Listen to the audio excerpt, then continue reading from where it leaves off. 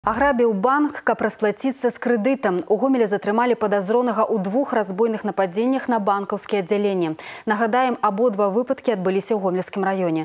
Першы і ўдалы для аграбежніка ў пасёлку бальшавік, другі безвыніковы ў аграгарадку Бабовічы. Сёння ва ўпраўленні ўнутраных спраў гомельскага былваканкама прайшоў брыфінг, на якім агучаны ўсе падрабязнасці справы. Яўгенія Кухаронак працягне. 24 томы матэрыялаў, шэраг экспертыз, адпрацоўка версій і звужэння кола падазроных. Ход раскрыцця злачынстваў быў узяты пад асабісты кантроль міністрам унутраных спраў Беларусі Юрыем Караевым з моманту здзяйснення першага нападзення. Тады 10 студзеня ў пасёлку бальшавік невядома ўварваўся ў банк, пагражаючы супрацоўнікам прадметам, падобным на пісталет, завалодаў буйной сумай каля 11 тысяч рублёў і знік. Были подняты по тревоге э, все близлежащие подразделения органов внутренних дел.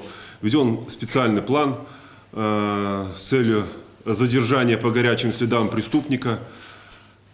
Примет, конечно, практически никаких не было, кроме того, что э, внешние признаки одежды. Отрабатывалось ряд версий. Благодаря все-таки профессионализму сотрудников, которые были задействованы в составе следственно-оперативной группы, э, нам удалось определить круг подозреваемых лиц, и мы были на верном пути. 2 сакавіка невядомы прыйшоў за грашыма ў аддзяленне банку ў аграгарадку Бабовічы. План дзеянняў быў адпаведны студзеньскаму разбою. У руках грабежніка быў зноў прадмет, падобны на пісталет, пагражаючы якім ён патрабаваў грошы. Аднак на гэты раз супрацоўніца банка адмовілася выконваць умовы злаўмысніка і націснула на трывожную кнопку, пасля чаго невядома ўцёк. Падазронага затрымалі праз два дні.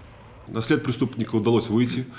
Эм, Установлено было м, не только личность, но и наружное наблюдение за э, фигурантом. И когда непосредственно уже подозреваемое лицо э, попыталось избавиться от вещественных доказательств, принято решение о задержании. Затрыманне праводзілі супрацоўнікі атраду міліцыі асобага прызначэння. Падазроным у разбойных нападзеннях аказаўся 24гадовы гамальчанін, індывідуальны прадпрымальнік. Малады чалавек сазнаўся ва ўчыненні злачынстваў, распавёў усе абставіны і прычыны сваіх дзеянняў. Похищенные деньги после разбойного нападения в большевике были, по его версии, потрачены на погашение кредитов и на иные личные нужды. Пока эта информация проверяется, направлены необходимые запросы.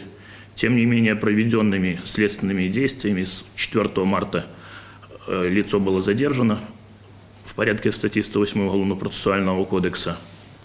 Э, 6 марта предъявлено обвинение по части 2 статьи 207 Уголовного кодекса. Это разбой, совершенный повторно. Избрана мера пресечения, которая санкционирована прокуратурой Гомельской области в виде заключения под стражей. На дадзены момант апрацоўваецца версія наяўнасці саўдзельніка ў грабяжах, вядзецца пошук прадмета, які выкарыстоўваўся пры разбойных нападзеннях пад відам агнястрэльнай зброі, узбуджана крымінальная справа. Евгенія Кухаронак, Ігор Марышченко, тэлерадыёкампанія «Гомель».